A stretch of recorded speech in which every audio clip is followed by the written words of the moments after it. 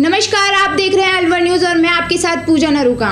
मुबारकपुर के दशमेश नगर स्थित गुरुद्वारा से चोलदान पेटी को चुरा ले गए और पेटी को सरसों के खेत में तोड़कर करीब एक लाख नकदी ले गए। सुबह गुरुद्वारा के ज्ञानी गुरुद्वारा पहुँचे तो गुरुद्वारा की लाइट बुझी मिली और गेट का ताला टूटा मिला। गुरुद्वारा से दान पेटी गायब मिली। चोलदान पेटी को पास ही सरसों के खेत में तोड़कर करीब एक लाख की नकदी चुरा ले गए। सूचना पर एसपी तेजस्वी गौतम सहित पुलिस अधिकारी मौके पर पहुँचे और चोरी की जानकारी ली।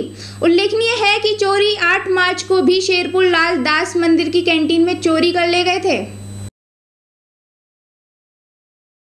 हमने देखा कि वहाँ पर हमारा जो मुख्यदान पत्र है वो नहीं है। हमने इधर छानबीन करने की कोशिश की और लोगों को बुलाया और देखा कि उसके बाद हमने तुरंत पुलिस को फ़ोन किया जिसके कि तकरीब आधा घंटा बाद सुबह साढ़े छः बजे यहाँ पर पुलिस आई और उन्होंने क्या क्या सामान? पत्र है हमारा जो जैसे आता है गुरुद्वारे में दान आता है वो पूरा दान पत्र का पूरा दान पत्र उठा के ले गए उसमें सीसीटीवी कैमरे हमने देखा और हमारे पास सीसीटीवी कैमरे लगे हैं और उनमें हमने देखा कि उसमें दो चोर हैं जो दीवार फांद कर अंदर आए और वो एक हमारा गेट है, उसका गेट का कुंडी तोड़ दी उन्होंने।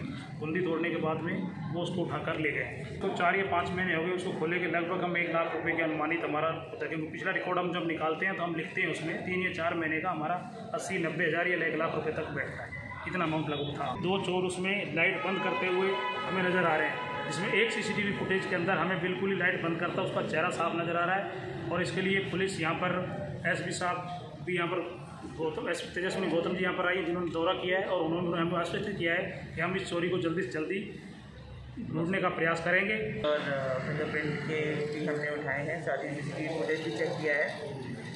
संभवतः ये एक ही व्यक्ति का काम है दोनों जगह पे और इसको जल्दी हम पकड़ने की कोशिश करेंगे और पूरी रिकवरी करने की कोशिश करेंगे। क्षेत्र में मैडम चोरियाँ लगा इसमें प्रभावी गश्त के साथ साथ हमारा निवेदन ये भी रहेगा सभी व्यापारियों से कि आप अपना जो भी आपका सामान है कीमती सामान है, उसे अपनी दुकान पे सूना ना छोड़ के जाएँ और साथ ही सीसीटीवी कैमरा ज़रूर लगाएँ अपने दुकानों पे।